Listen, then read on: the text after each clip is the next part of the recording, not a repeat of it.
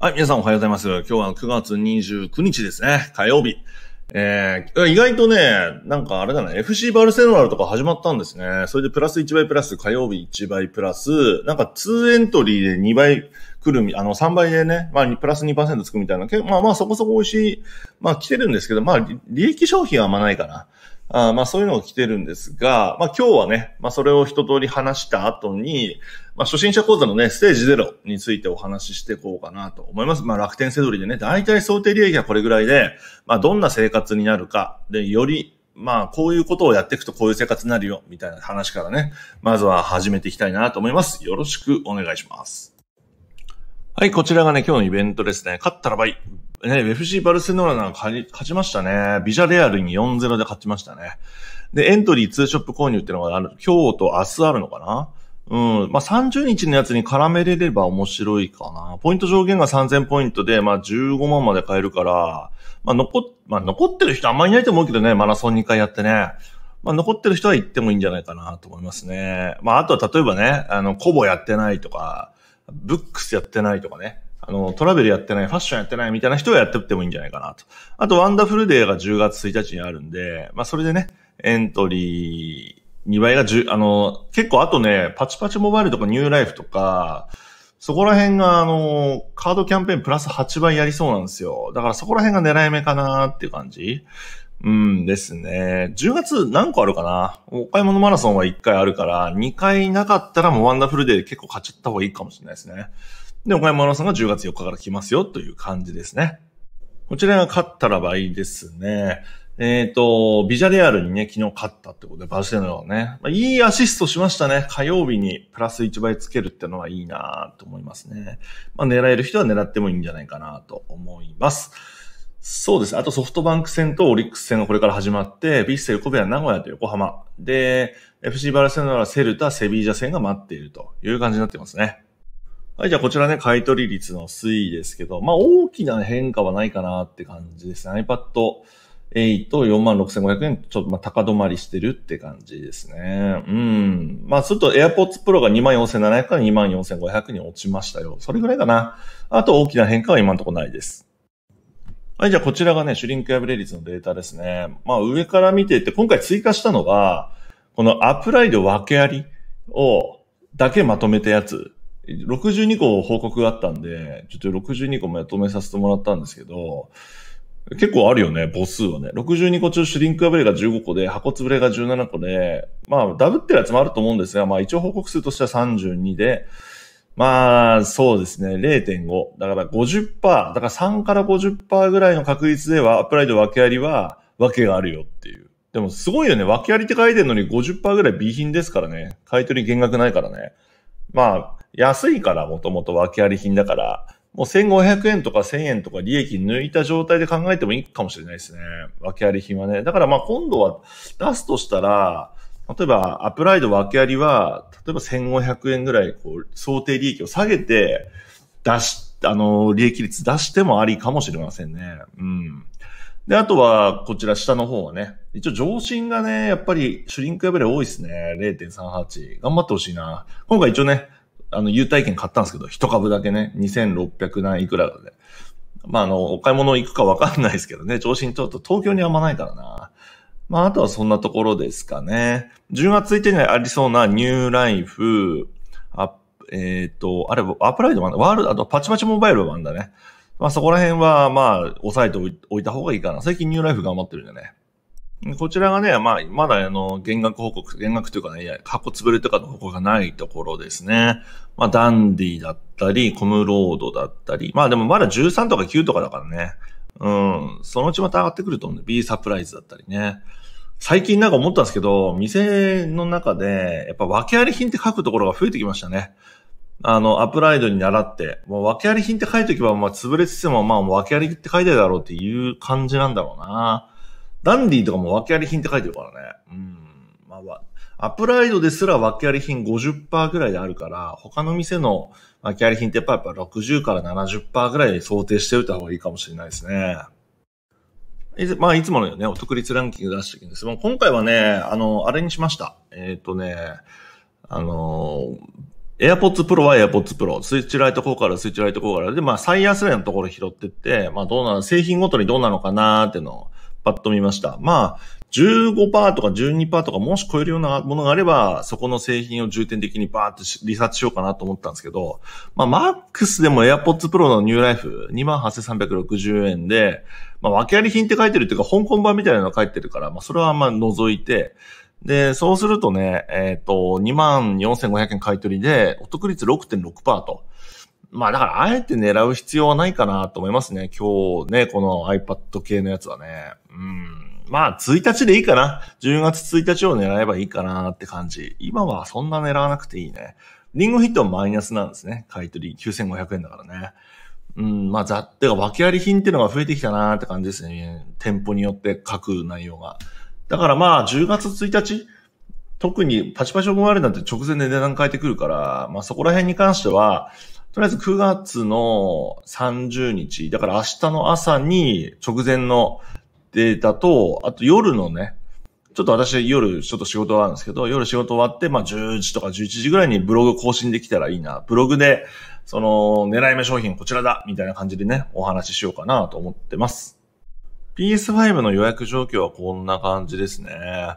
まあ、大きな変化は特にないかなと思いますね。9月30日まで締め切りのやつがまあまああるんで、まあそれはね、やっといた方がいい。例えばゲオとか光 TV とかね。そこら辺はもうやってない人はやってみてくださいね。いよいよもう予約なんかなくなってきたね。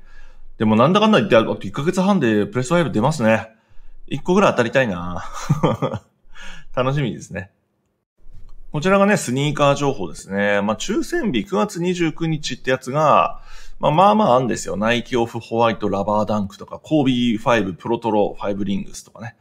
あとは、そのブルックリンプロジェクトでナイキ S SB ダンクハイプロ QS とかね。まあ結構ね、このナイキ SB ダンクハイ QS がストック5だ、ストック X だと13,200円のものが72,000取引されてるんで、まあ高騰率545%と。まあ、あの、どれぐらいかっていうと、遊戯王のプ、プラ、なんだ、プリズマティックゴッドガードだっけ？ゴッドボックスだっけ？あれ、あれぐらい高騰してると。まあ、これは狙ってもいいかなと思いますね。今日の12時、もしくは14時ぐらいから、まあ、なんか、ちょっとまだ詳しい詳細はわかんないですけど、まあ、お店に行って登録するのかな。まあ、結構、お店じゃな、も今までの会員じゃないと無理みたいなところあるんで、まあ、詳細はまた概要欄に貼っとくので、皆さん個別に見てみてください。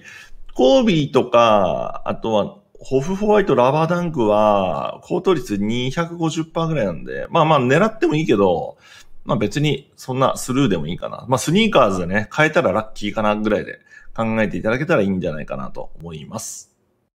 こちらがね、株主優待ですね。皆さんどこ買ったでしょうかクロスした人もいるし、まあ僕はなんかめんどくさくなってきて、もう現物でもう持っちゃおうと思ってね、もう、まあ一生持つぐらいの気持ちで、あのー、配当権をずっともらい続けようかなって気持ちでね、ちょっと昨日衝動買いしましたね。まあ今日落ちるんだけど、まあ上新電機さっき言ったようにお買い物券買ったのと、あと宝トミーのオリジナル商品。だって3年も、3から4年持ってれば、宝の、あ、1年持ってれば30%割引で、4年ぐらい持ってれば確かあれっけ、40%割引で宝トミー品が買えるんで、まあそれを使ってね、いつか宝トミーで背取りをしようかなと。思ってますね。あと、ビアホールディングスってなんか居酒屋みたいなのが新宿に結構あって、まあそこで、あのー、この優待券で飯食おうかなとか思ったり、あとトリドルですね。あとこちらで、あのー、うどんね。うどん結構僕好きなんで、あのー、うどんの3000分をね、狙いに行きました。まあまあ、落ちてもいいやって感じでね。で、山田電機は、まあ結構値下がりしてるんですけど、まあ、まあいいかなって、もうずっと持っとけばなんとかなる。まあ20年ぐらい持っとけばプラスなるでしょ、みたいな感じで持ってますね。はい、じゃあね、初心者講座やっていきますね。まずはステージ0のとこ。楽天ポイントセドリっていくら稼げるの？ステップ1、予想利益はどれぐらい？で、ステップ2、どんな生活になりますか？みたいなね。で、まあ、どれを選びますか？まあ、結果ね、最短ルートの選択が可能かなっていう感じですね。じゃあ、それについてね、お話ししていきたいなと思います。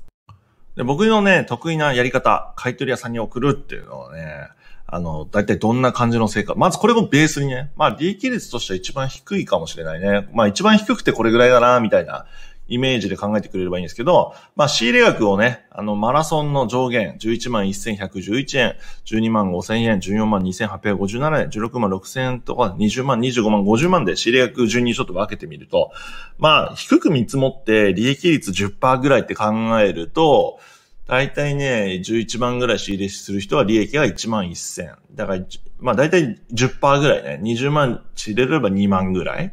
25万の人は2万5千ぐらい。50万の人は5万ぐらいの利益が大体出るかなっていうイメージで10%でね。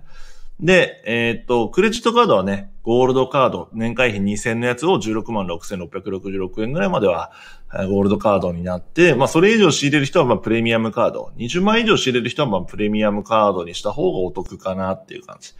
で、仕入れの方法なんですけど、あの、月にマラソン1回あるんですよ。だいたい1週間、6日間から1週間ぐらいね。その時に、なんか、はい、はい、この、だいたいマラソンプラス05の日に商品をポチポチポチポチって押して終わり。もうそれだけ。結構簡単ですよ。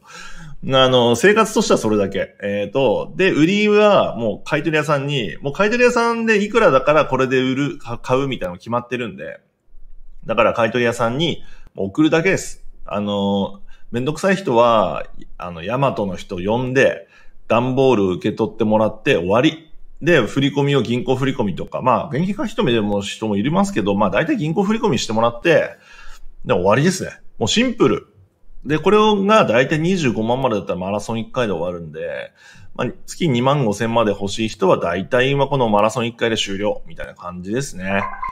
で、えっ、ー、と、50万まで行く人は、あの、だってそれを2回やると。マラソン2回やれば、マラソン2回分やると。で、もしマラソンが2回なければ、例えば05の日、例えば5、10、15、20、25、30日に大体キャンペーンやってるんで、まあそこで残りの25万仕入れて終わりっていう。まあシンプルですね。まあこれが大体楽天ポイントセドリで、あの、買取屋さんを利用して、あの、狙える想定利益ですね。ここまで聞くと、え、超簡単じゃんと思うじゃないですか。でもなんかネット上では、まあ、なんかもっと難しそうなことやってますよね。アマゾンに出したりとかね、いろいろやって。それ何をしたいかっていうと、さっき言った仕入れ50万ぐらいまでの大体マックスなんですよ。楽天ポイントセドリって。だからまあ、利益率10%から15%ぐらい。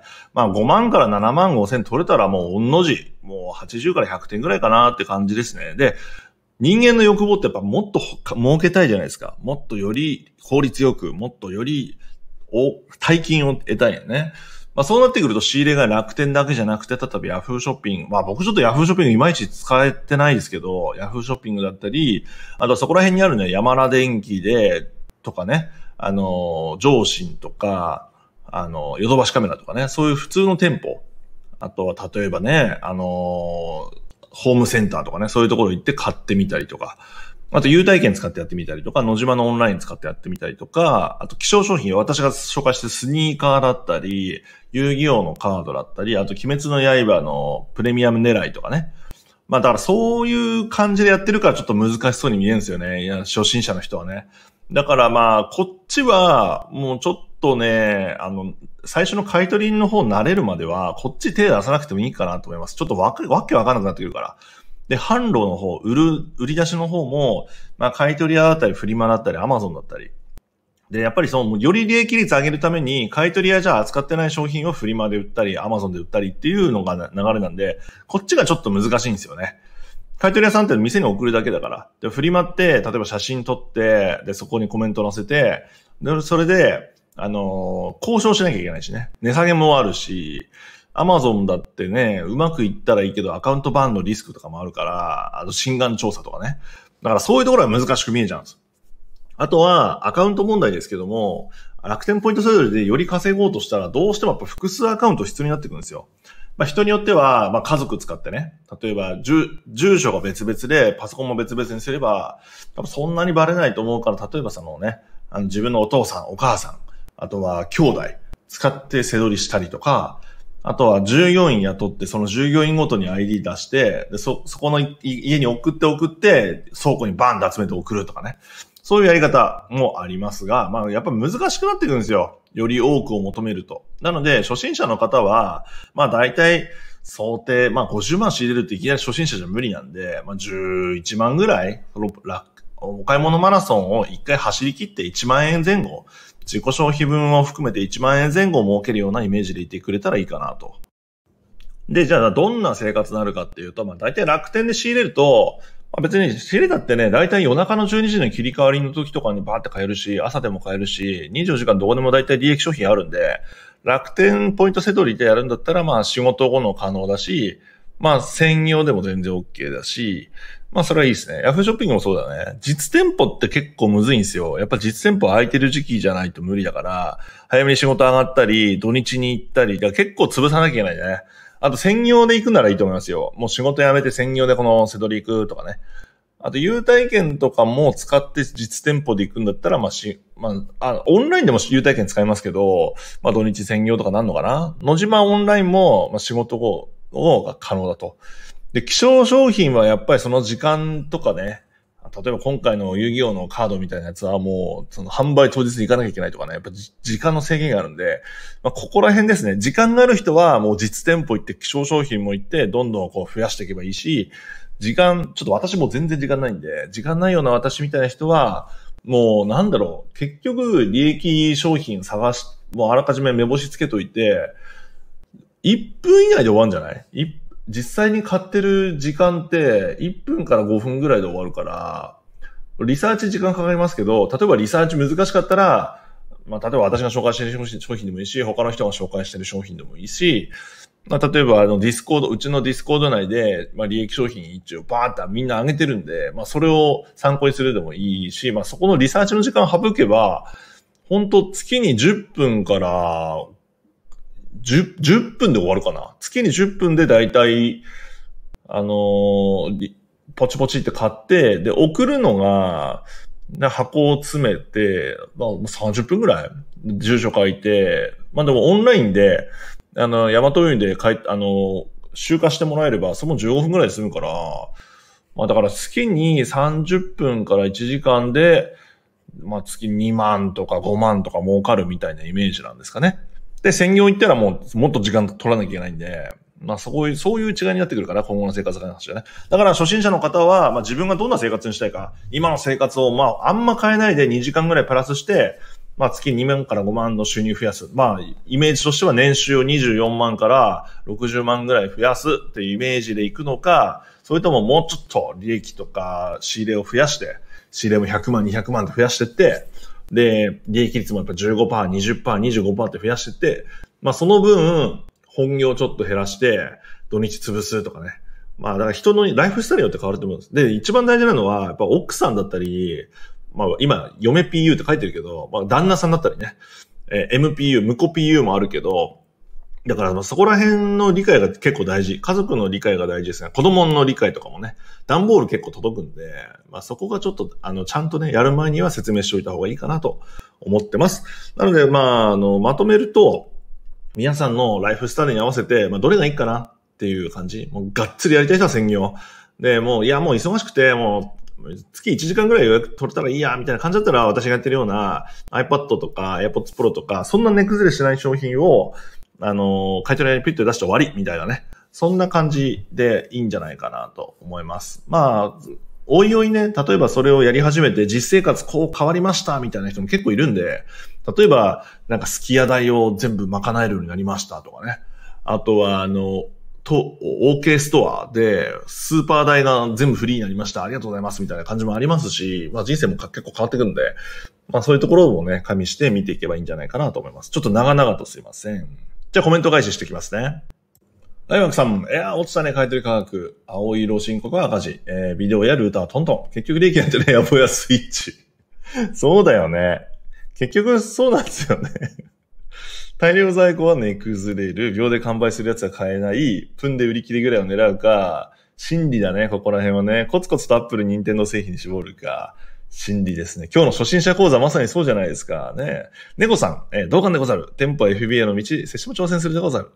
万事の際にはごしろ。だから店舗 FBA でいいところって、店舗せどりって、そんなになんかあの、電、電脳せどりみたいに大量にバーって買って大量に出品者が出てみたいな、そんなリスク少ないから、もう選べるじゃないですか。まあそういうところはいいかなと思いますけどね。パトさん、エディオンカード自分も作って PS5 抽選応募しました。あ、いいね。多分ね、エディオンカードを作るのめんどくさいから、多分倍率高いと思うんだよね。初心者講座は私のような初心者には非常にありがたいます。まあ、任せてください。もう初心者、もう私、初心者っていうかもうめ、超めんどくさくない、超簡単なやり方ね。やり方を教えようかなと。で、PS5 幸運を祈る。切符を期してます。猫ぎ、猫ぎしいる？それ、最後の猫ぎしって。最後のいらなくないわっしょいさん、いつも有益情報ありがとうございます。初心者講座楽しみにしてます。ありがとうございます。需要があるかわかりませんが、ディスコードでもチャンネルある、えー、投資にお答えできる。あ、だからまあ初心者講座みたいな作りますかね、ディスコードね。うん、と思います。もし機会があればお声掛けいただければなと思います。いつもテイクばかり恐縮ですけど、少しはギブできたらな。あ、じゃあワッショイさんにお願いしようかな。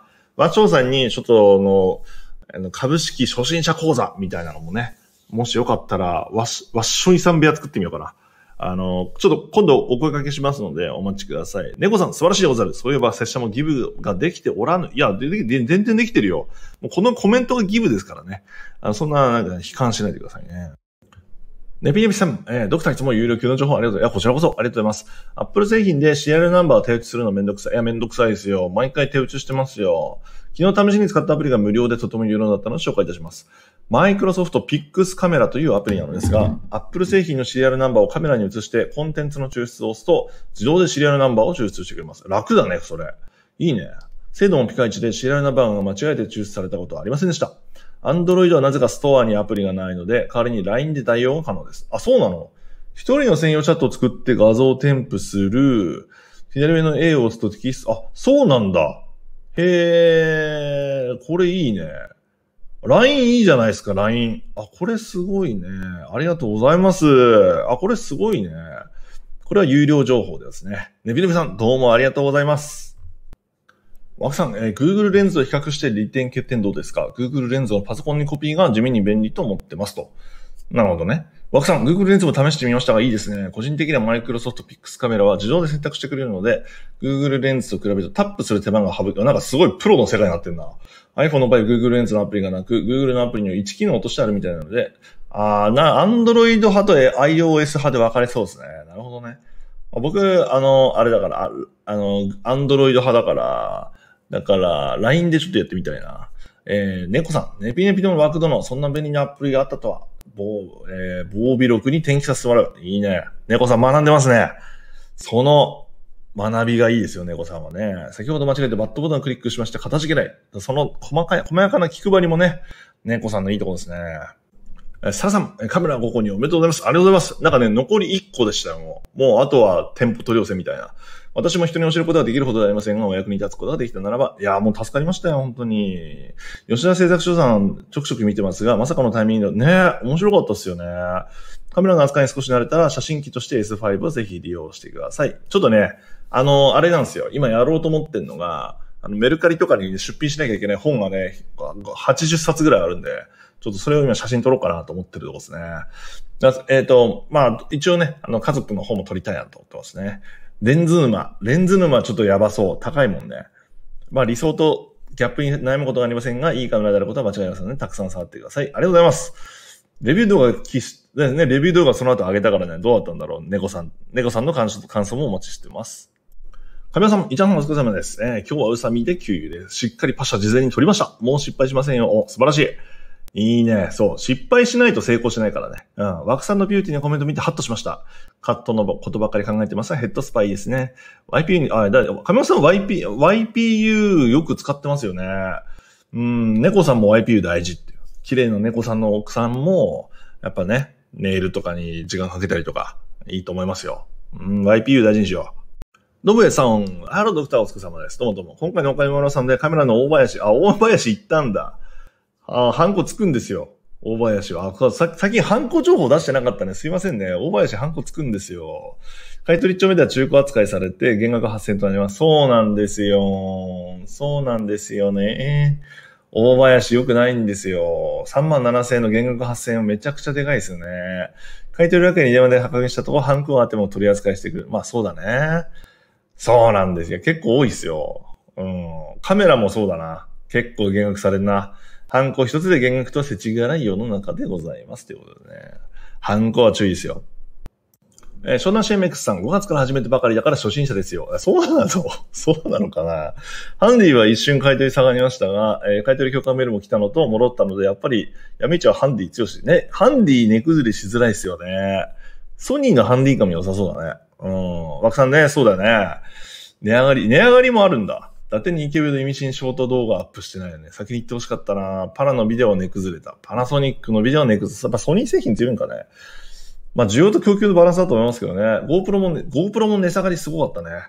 カメラ強化だったので利益取りましたよ。まだまだ始めたばかりなので、たまたまでしょうが、パナソニック行ったことなかったね。これやっぱりこれからもソニー行きますと。ウィキからたまに強化のメールが来るでござる。次に来たら展開するでござる。お、なんか、猫さんが学んでるね、なんかね。おしぼりさん、ドクターこんにちは。ラジカンに白衣で張り込んでた人、ドクターですああれでしょ？あれでしょ？あのー、シュタインズゲートでしょ？多分下着の話してんだよね、それね。全部見ましたよ。冗談さとき自分も初心者ゆえ、初心者講座楽しみにしています。えー、自分は利益計算が難しくて宿泊しています。ポイント上限、付与タイミングオフ。YouTube ライブもお疲れ様です。作業中でしたのでコメントできませんでしたが、ラジオ代わりに聞かせていただきました。ピカチュウ。カブルタンのピカチュウめちゃくちゃうまかったですよね。猫さん、むむむ、その後、さては武士でござるか。ゆえを使いこなす様、彼でござる。拙者も生ピカチュウには驚いたでござる。びっくりだね、あれね。ちょっとね、このやりとり面白かったんですけど。えー、いやいや、拙者は武士でござらんよ。ただの流浪にござる。これちょっとね、流浪に剣士入ってんだろうな、これな。流浪に逆、逆馬刀の使い手。ねえよろしゅうお民も。拙者人を切る剣を持っておらんでござる。あと、働きたくないでござる。やっぱね、働きたくないんだったら副業をやるべきですね。背取りは絶対やった方がいいね。あと何やった方がいいかな。やっぱ YouTube、ブログは絶対やった方がいいね。あと何かななんかおしぼりさんのね、なんだ、その特技とかあればね、それ活かして絶対副業した方がいいな。うーん、って思いますね、僕もやってて。結構僕も副業、こんなに稼げると思わなかったからね。ブキブキおっさん、いつも動画発見させていただきます。ためになる情報配信してありがとうございます。いや、こちらこそ見ていただいてありがとうございます。楽天経済経済で生活してます。最近楽天ポイント制度を始めたのですが、なかなか自分で商品を見つけるのが難しいので参考にさ難しいよね。なかなかね、イチャンさんの話はステージ2の話を多く配信していただけるので、とてもありがたいです。そうなんですよ。もう利益商品のところがみんな興味あるかなと思ってね。まあ、ただでも、初心者講座はやっぱり2だけじゃ無理だから、まあ、3、4、5とかね、いろいろ考えた方がいいかなと。動画でござる。拙者も未だに突の瞬間ビビってるでござる。マラソン1アンドのライブなしでも、そうなんだね。今度はあれだね。暴落しそうなやつとかも予想したいですね。あ、これ暴落するぜ、みたいな。大体これ暴落するっしょ、みたいな大体わかるんで。あのー、そうだね。ただ今回弥生みたいな190個とかね、120、あの、あとシルクの120個みたいなやつは多分、暴落するだろうな、みたいな感じでイメージしておけばいいんでしょうね。猫さん、え、やーでござる。本日は動画編集に時間を要したためコメントは淡白です。まあ、いや、全然いいですよ。全然いいですよ。ライブ楽しかったでござる。感謝申し上げる。えー、おとといスイッチを探すために実店舗で9店舗もあったが、店舗セドリの雰囲気を勝手に感じていたでござる。えー、週末を楽しく過ごすのに良いかも。あ、楽しいですよね。うん。いや、おすすめはね、アマゾン FBA とかヒロさんとのや、枠度の教習へ、心強いでござる。まあ、やってみてもいいと思いますよ。じ、でも、猫さん忙しくない？どう、大丈夫なのかな？おすすめは、あの、LINE、LINE ペイビザカードは作ってくださいね。LINE ペイビザカードの3%還元プラス、メルペイ払いで、その、例えばゲオとか、ツタヤとか、まあ、そこら辺が10%オフになるから、それで任天堂スイッチライトを買って、買い取り屋に送るってのは一番今硬いっすね。店舗せどりではね。まあ、利益、利益は1回2000円から1500円だけど、まあ3、まあ5個とか6個とか積んだらやっぱ1万ぐらいになるから、まあそれが一番硬いかな、今はな。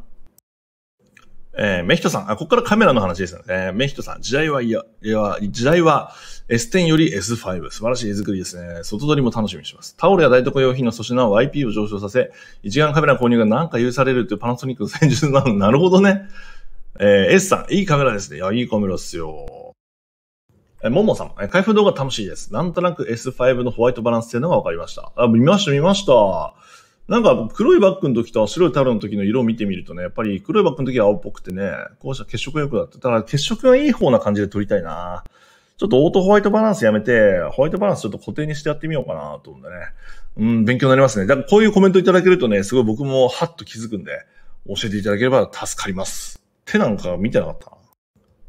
MM さん、うわ、いいな、めっちゃ欲しいやつだ。あとは商品撮影するなら、照明2灯とギアウンダーにマクロレンズが。いや、もう照明やっぱり2灯必要なんかな。買うかな。でも吉田製作所さんのやつにするか、あとは、この後ね、サラさんに教えてもらった YouTuber の人の参考にして買うか。いや悩んでますね、今ね。金かかるね、カメラ。ねえ。ギアウンダイとマクロレンズは今度にします。まず、照明は必要そうっすね。えー、サラさん、お疲れ様です。カメラに詳しい方々が本音としてくださって勉強になります。いや、本当ですよ。いや、基本室内の撮影になると思うので、LED ライトが必要になると思います。ライトは使うと印象がまた変わるはずです。ライトについては、えっ、ー、と、YouTube さんどなたも動画にされているので参考にされたらいいと思います。GH ユーザーのイコーザコムさん、アイ、アイ、アイコーザコムさんね。この GH5 のあれ見ましたよ。なんかあの、オートフォーカスが良くなる裏技みたいなやつね。あの、100、アングルで179度にするやつね。あれ見ました？すごかった。あの店舗で試したら、あのカメラのね、店員さんビビってましたよ。オートフォーカスめっちゃ良くなってますね、みたいなね。あの、引き続きね、頑張っていきたいと思いますんで、またあの、サラさんどんどん僕にアドバイスください。助かります。湘南シェーメックさん、ギャラクシーも綺麗なのに比べると全然違いますね。ただね、そう、高いんだよ。高いけどね、まあ、経費で落とそうかなと思ってますね。アンジェリカさん、毛がなくなると若々しさ、清潔感アップですね。いや、だからね、ちょっとあれよ。今度、ヤーマン行っちゃおうかなと思いますね。なんか、今使ってるのなんかすごい古いアマゾンで買ったレビュー高そうなやつ、バッチバチって言いたいんですよね。ヤーマンだとなんか熱くなるだけっぽいから、ちょっとそれは狙ってますね、今度ね。もうどんどん清潔感を出していこうかなと思ってます。フリーザスさん、今月中頃から拝見させていただきます。初心者です。動画の中で紹介しましたが、オンラインサイト気になるのですが、どっかに、ありますよ。あの、概要欄にね、エース、2チャンネルの副業のチャンネルみたいなの下にのあるんで、なんかディスコードに誘導されるんでね。別に個人情報とかも全然入れる必要なくて、なんかニックネーム書くだけ。で、まあ入ってくれればいいかなって感じですね。で、あと僕のツイッターの中の、なんプロフィールのとこにも貼ってた気がするんで、まあぜひね、そこからね、入ってみてください。なんかもうプロみたいな人いっぱいいるんで、えー、しかも気楽にね、あの、いろんなチャンネルも無料で入れるから、まああの、どっちかというと、なんかあの、あれですよ、オンラインサロンって書いてるけど、まあなんか仲間でみんなで雑談してやろうぜ、みたいなあの、気楽な感じです。え、ソさん、S5 おめでとうございます。えー、私は G8 がメイン、あ、プロですね。結構昔からですね。次は照明でしょうか。えー、照明待ってます。照明沼待ってます。もうなんかお金どんどん飛んでく。お金まあまあまあまあ、ちょっといろいろやりますよ。えー、バランチョンさん、手がめちゃめちゃ綺麗になってますね。ありがとうございます。いや、もうもっとね、やっぱ綺麗にしていかないと、やっぱ YouTuber 的にね、生きていけないですね。メガネパッパさん、画面左下のキャラクターが話すようにするための主要アプリは何ですか良ければ教えてください。えっとね、ビヨンドっていうね、アニメの、あの、ソフトなんですけども、それでね、アニメキャラクタークリックして、マイクをして、で、リップシンク、口も、あの、ちゃんと一緒に動かすみたいなやつやると、一緒に動くんですね。ただ高いんですよ、これ。8万ぐらいですから、あの、安くて。だからまあ、そうね、他にまたアプリいろいろあると思うんで、まあそういうのを参考にね、してみてもいいんじゃないかなと思いますね。なんか iPhone とかでもできんじゃないかな。でもまあ、ちょっとリップシンク使ってますね、僕はね。これこれ別になんかもう、本当はもっとなんかサラタメさんみたいなね、やつやりたかったんですけど、ちょっと大変なんで、こういう感じでやってます。ここまでコメントどうもありがとうございます。また明日ですね、10月1日のワンダフルでの情報を明日の午前中と、えっ、ー、と、夜、で、初心者講座のナンバー2のところも、まあ、できればはめていこうかなと思ってますね。それじゃあ、よろしくお願いします。また明日。